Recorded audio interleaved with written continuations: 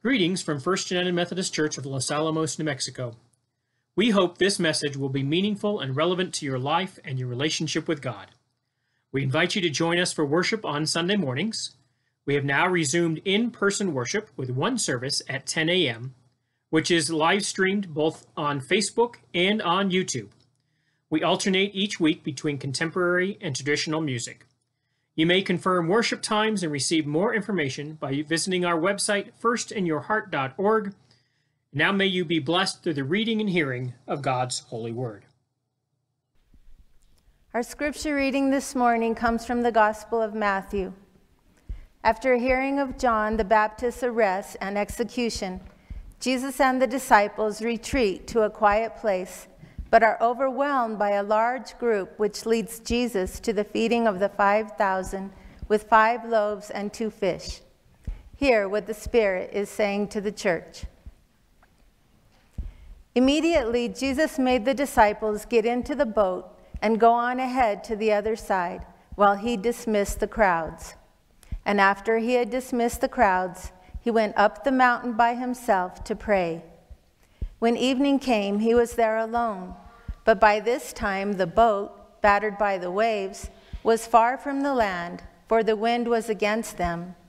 And early in the morning, he came walking towards them on the lake.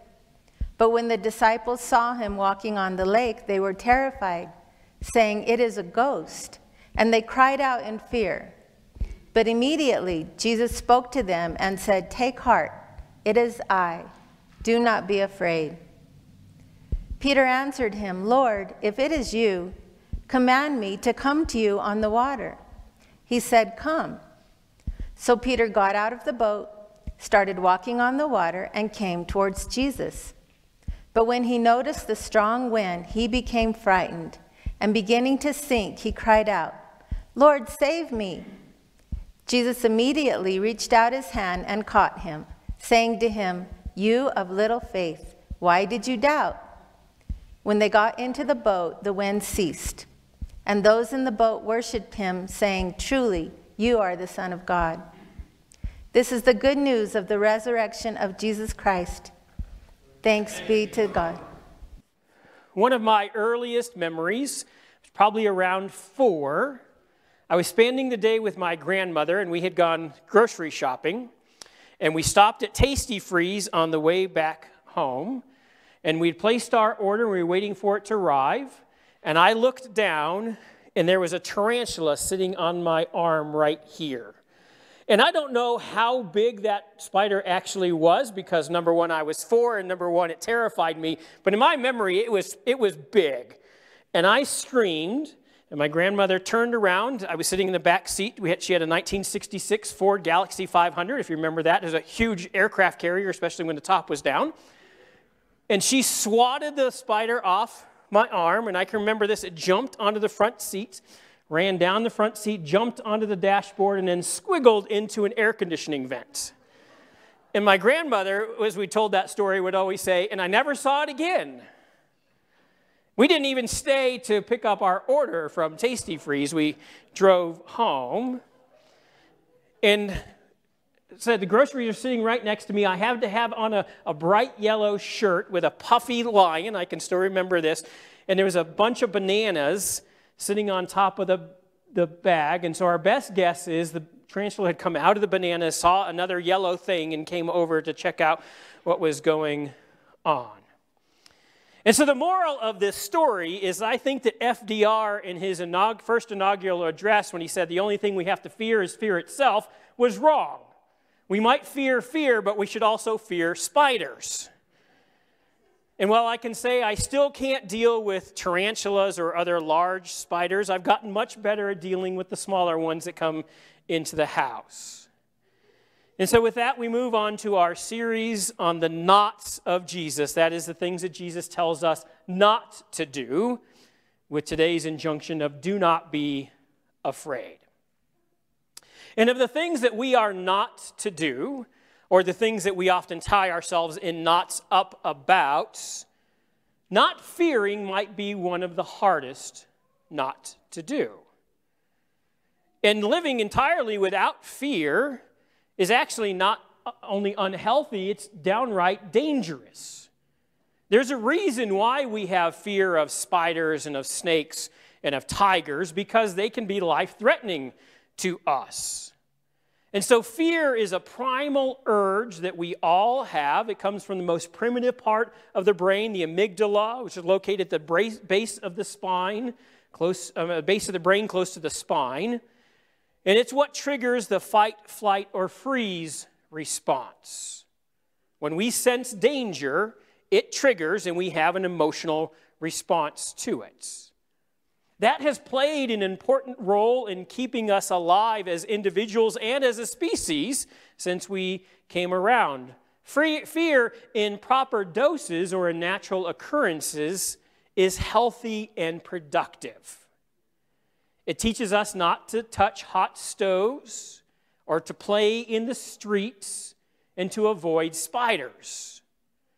And so, fearing things is not a sin.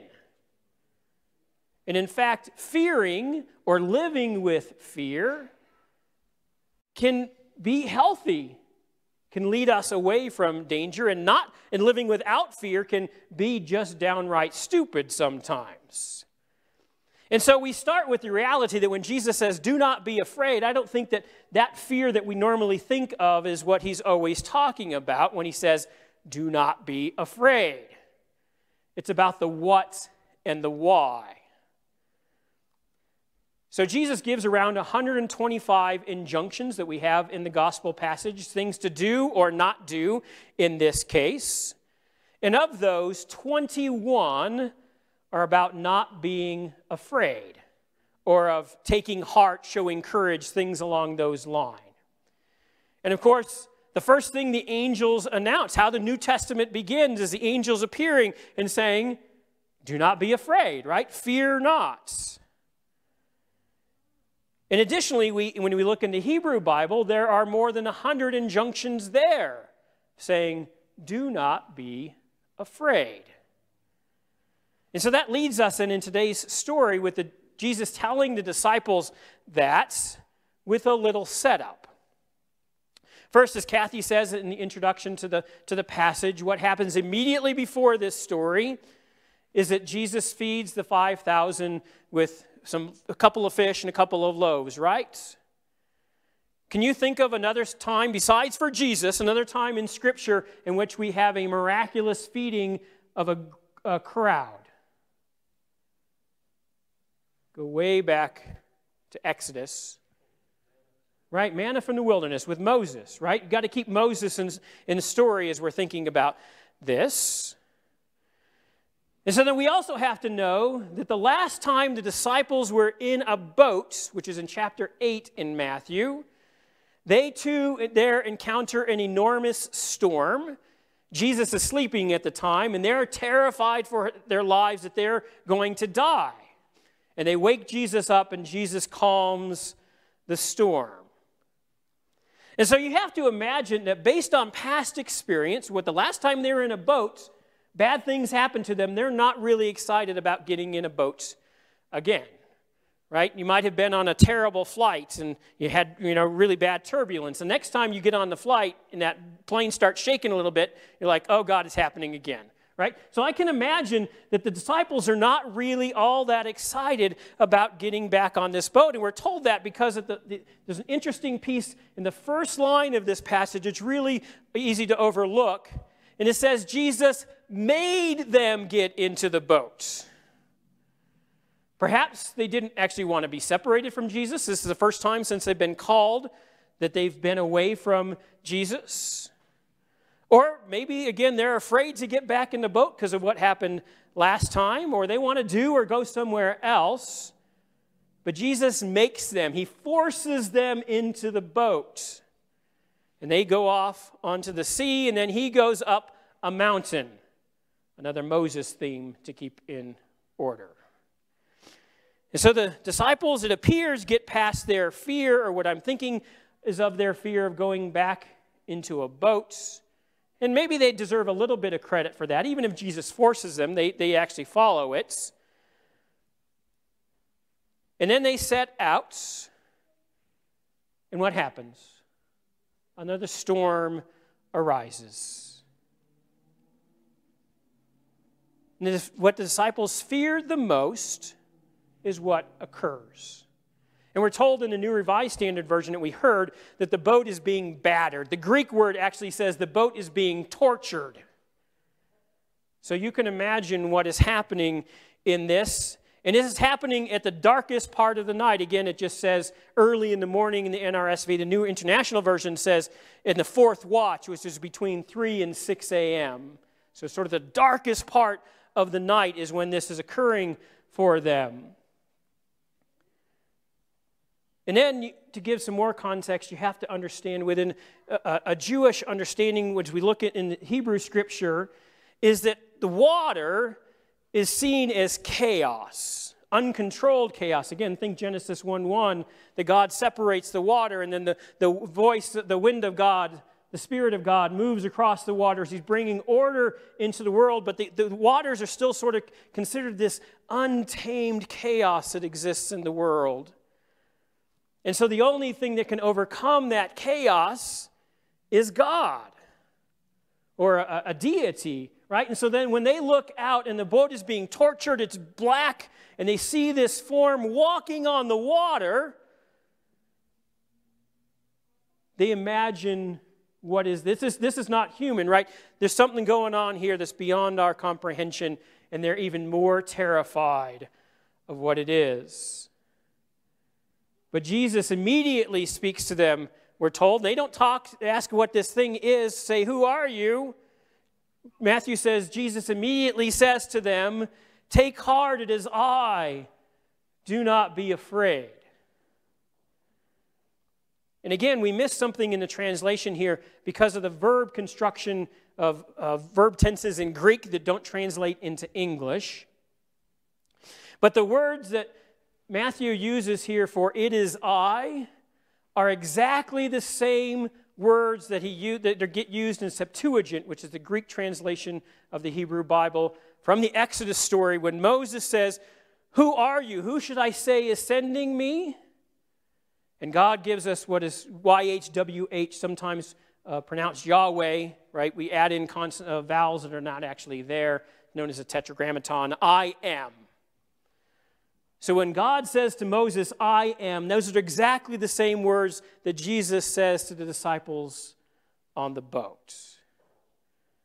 So we have this other Moses piece, because one of the things that Matthew is doing is saying, yeah, Moses was the great prophet and lawgiver, but guess what? Jesus is even greater. Moses could part the waters, Jesus walks on them, bringing order out of chaos. And so he says, Do not be afraid. Jesus is taming the chaos around them, although we're not told that the storm is calmed. So it's still being battered or tortured when they see this, and Jesus says, Do not be afraid. And so Peter says, If it's you, perhaps there's some doubt still there for Peter. If it's you, command me to come out onto the water. Now, doesn't that seem a little ridiculous? If you're in the middle of a storm on a boat, are you thinking about what's really going to be great is if I could walk, step out of this boat? And yet, I don't think that Peter is being his normal impetuous self here. A number of years ago, the then COO of Facebook, Sheryl Sandberg, wrote a book entitled Lean In, which was about uh, equality in the workplace and increasing the number of women in leadership positions, but sort of lost that original term, and lean in became this business buzzword that everybody was talking about.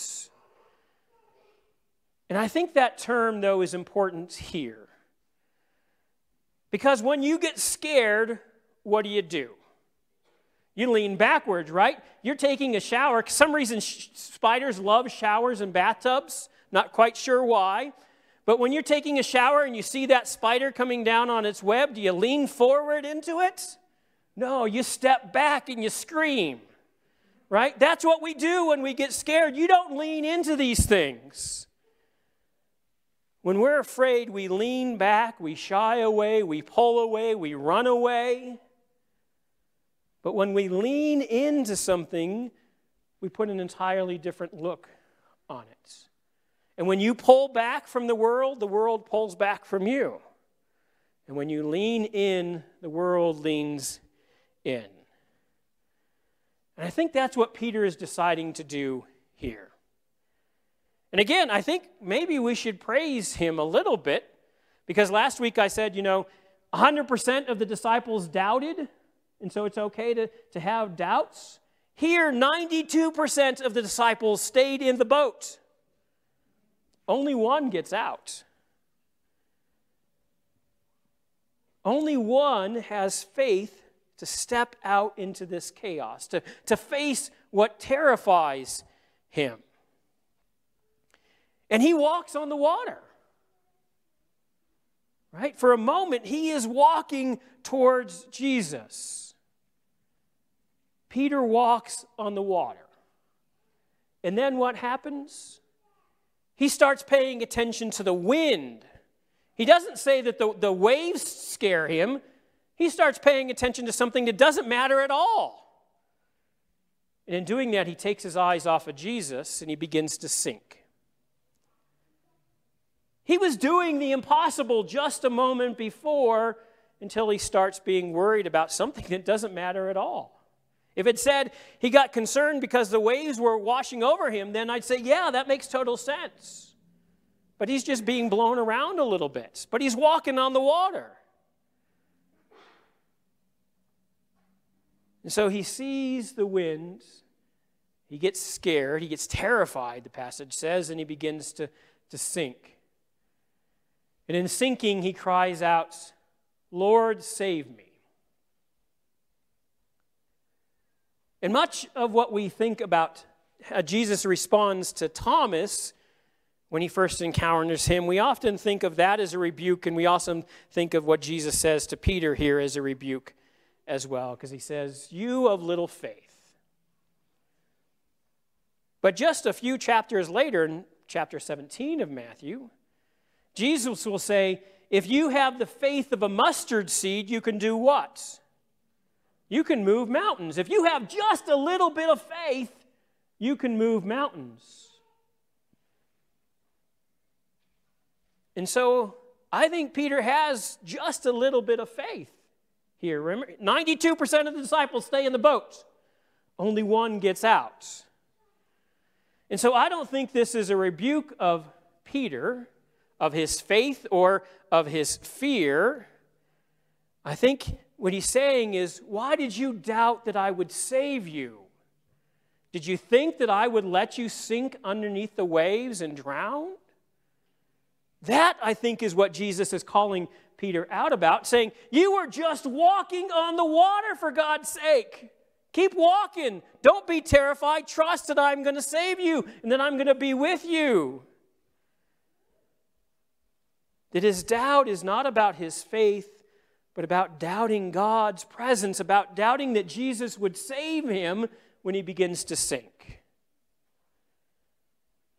He had to know that Jesus was always going to save him. And now, hopefully, he does know that and recognize that Jesus was going to be with him when he's walking on the water and when he's sinking under the water, and Jesus is going to lift him right back up again. That Jesus would be with him and with the disciples in the midst of the storms of their life. And so, hearing this story should help us then make it easier for us to overcome our own fears, our own worries, even our own doubts of saying, if I had just this much faith, I could do it. And Jesus says, You have that. And if you have a little faith, you can move mountains. And so, stepping out of the boat does not mean that we won't face troubles and high winds and storms that are battering us or waves that are battering us, it doesn't mean that we won't have more fear. But it's to trust that Jesus is right there with us and Jesus will save us. And to know that it is Jesus who is calling us out of the boat. Bishop Will Willimon said If Peter had not ventured forth, had not obeyed the call to walk on water, then Peter would have never had this great opportunity to be rescued by Jesus. I wonder if too many of us are merely splashing about in the safe shallows and therefore have too few opportunities to test and deepen our faith. If you want to be close to Jesus, he says, you have to, be, you have to venture forth out into the sea. That is, you have to be willing to step out of the boat. And that means that we ultimately have to trust and move through our fears, and that is so hard to do. Because last week, when I talked about faith, I quoted from some who said that the opposite of faith is not doubt, that it's certainty or control of having things that we can trust and believe in, sort of black and white world, that everything is firm and nothing's going to change, and we can comprehend it all. We can uh, wrap it up in a nice little box tie a bow on it.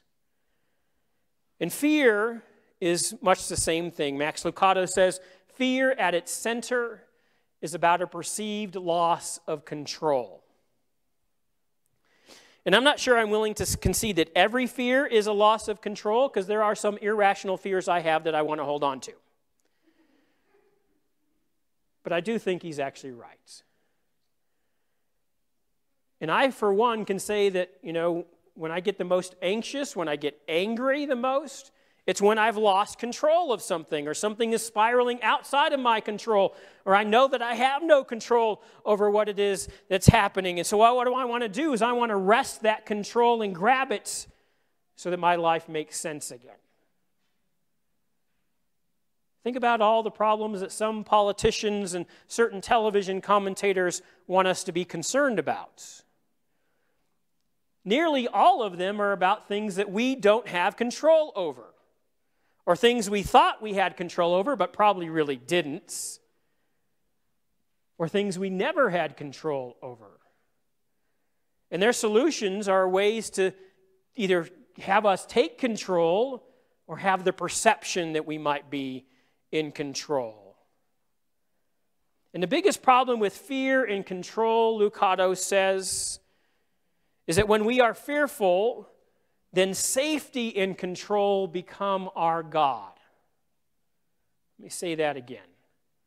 When we are striving for safety and control, it becomes our God.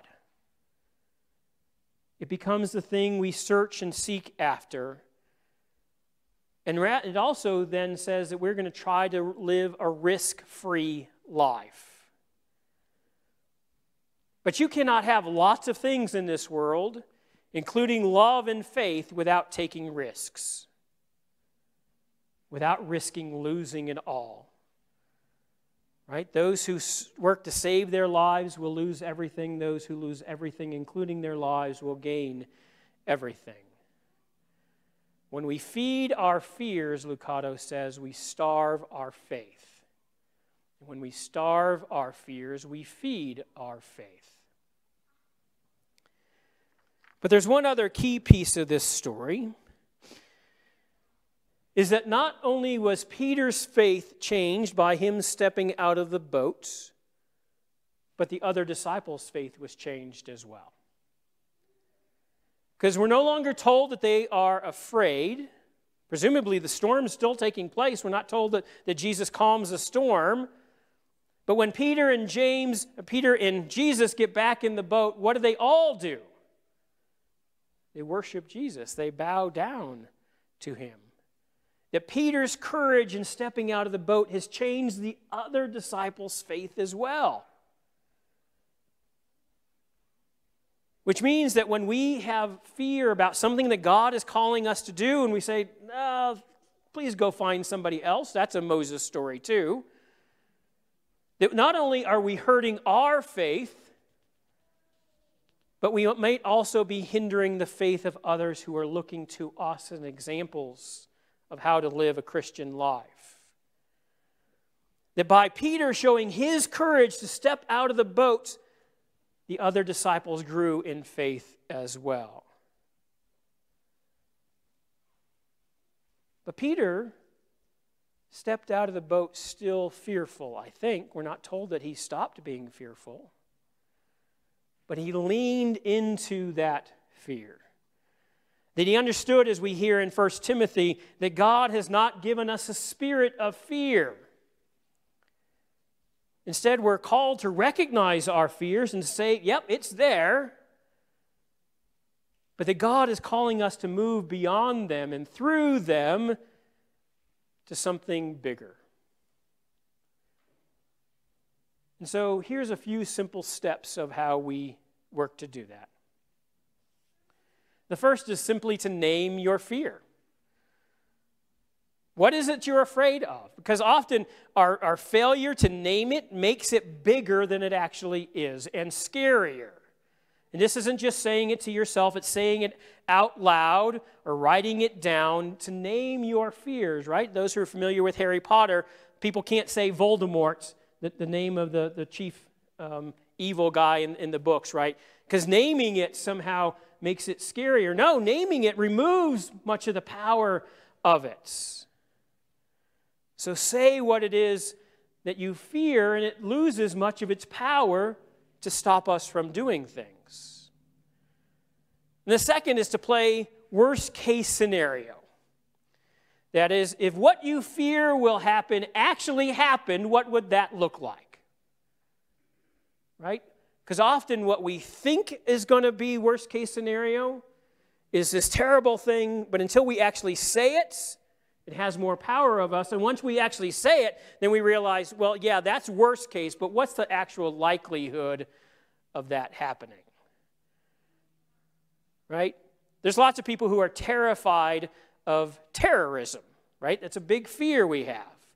Did you know you are more likely to be killed by a cow than you are a terrorist? You're more likely to have a television fall on you and kill you than you are to be killed by a terrorist. You're more likely to be smothered by your pillow while you are sleeping than you are to be killed by a terrorist. Is anybody here terrified of cows? Spiders, I get. Cows, okay, we have a little cow fear over here. Televisions, pillows, right? Those are more dangerous to us, but th- this other thing out there has this enormous power over us. And we think that's what we need to avoid. So play out worst case scenarios. And then tell somebody else what it is that you fear and why right? That's not just naming it out loud, it's getting somebody else to help carry this burden with you. And it might be sometimes you just say, I just need to say this. I don't need anything, right? Don't give me an answer about how to overcome this. This is not looking for advice. I just need to say this so I can name it. But sometimes you might be looking for advice about how do I help overcome this. And then finally, and maybe you should actually do this first, is to pray. Say, God, this is what I'm scared of. And I hear you calling me to do this, and I don't want to do it. So give me the strength to work through this so I can do what you are calling us to do. And what all these steps will do is to take that fear out of darkness, right? Because fear feeds on darkness. And it's in darkness that we are most terrified. It takes that darkness and that fear and he moves us into the lights. Because things don't seem as scary in the light as they do in the darkness, do they? Because the darkness is where fear dwells. But we are followers. We live in the light because we are followers of Jesus, who is the light of the world. And so when Jesus says, Do not be afraid, I don't think he's saying live fear free. Because not only is that not healthy, it's dangerous. Instead, he's saying, move through your fears. Don't allow your fears to stop you from doing what God is calling us to do. Don't let your fears stop you from believing that Jesus will save us. Don't let your fears stop you from believing that God is with us even in the storms of life. Because what happens is that Peter expands his understanding of what he is capable of, because he walks on the water. And he expands the faith of the disciples. And he learns to trust that Jesus is always there to save him. He doesn't have to call out, Lord, save me. Jesus is right there to extend his hands and lift him up, just as Jesus is there for us. But he steps out of the boat. And it doesn't mean that we won't have bad things happen to us in our lives. That there won't be storms that rage around us, that, that torment us and batter us. But Jesus says this chaos is not going to rule forever. God is going to have the final word on this. That Jesus will ultimately save. And it says, if you're going to get out of the boat, guess what? You might get a little wet. But you can't, er, right? Safe, safe place to be is in the boats. But that's not the faithful place to be. We have to get out of the boats, knowing that Christ is present for us, that Jesus isn't in the boat shivering with them, fearful of the storm. That Jesus is standing outside the boat as well, saying, Come, it's I. I am. Do not be afraid. Get out of the boats. Take heart and do not be afraid. I pray that it will be so, my brothers and sisters. Amen. And so I'm going to invite you to take out your worship guides, and we're going to take that minute again. I want you to write things down that you either need to remember or to name some of those fears, talk about some of the things that are stopping you from doing things that you need to be doing in your life or that God is calling uh, you to do. And we're going to take a minute um, to write those things down on your worship guide or for those who are worshiping online on a piece of paper that you have there with us. So if you'll start that countdown.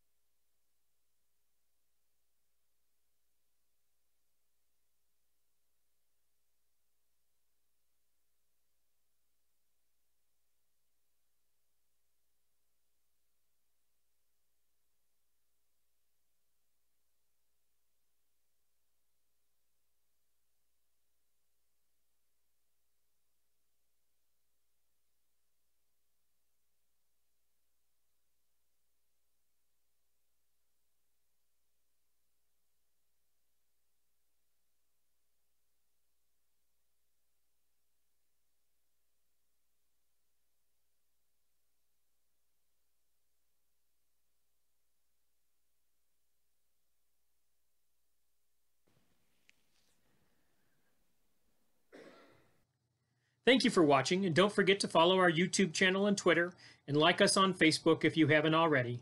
And remember that every action you take today could change someone's life. So make sure it's a good one and be an agent of love. God bless.